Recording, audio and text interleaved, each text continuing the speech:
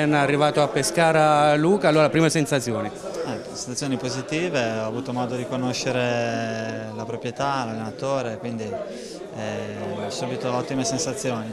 Simpatico anche il Presidente, ti ho visto ridere durante la conferenza stampa. Beh, sicuramente è una conferenza stampa divertente, eh, riesce a strammatizzare su cose, insomma, su domande, su argomenti che tante volte potrebbero turbare, eh, quindi è un grosso vantaggio che hanno di saper gestire queste situazioni. Tu sei il colpo del mercato del Pescara, eh, responsabilità dal tuo punto di vista oppure sei abituato a viverle ma colpo o non colpo, questo non lo so, insomma penso che siamo eh, giocatori all'interno di una squadra, di una rosa, abbiamo tutte uguali responsabilità, uguali doveri e quello di dare il massimo, quindi sicuramente io cercherò in questo senso di, di non far mancare nulla eh, tifosi del Pescara, come ho sempre fatto. Come stai? Innanzitutto qualche problemino fisico, però diciamo che tra una settimana dovresti rientrare nel gruppo.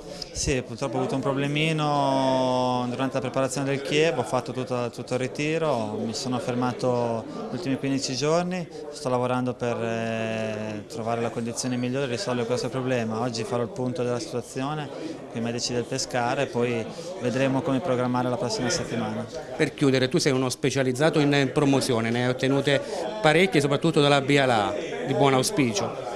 Beh, sicuramente sono tre promozioni dalla BLA in tre città diverse, in tre squadre diverse, sono diciamo, il mio orgoglio perché comunque è, è bello vincere i campionati e poi poter giocare la Serie A l'anno dopo con la stessa squadra. Ecco, io, eh, ho come obiettivo di vincere ancora un altro perché arrivare a quattro promozioni in Serie A eh, saremo veramente in pochi e quindi insomma, mi auguro che questo Pescara possa poter realizzare il mio sogno.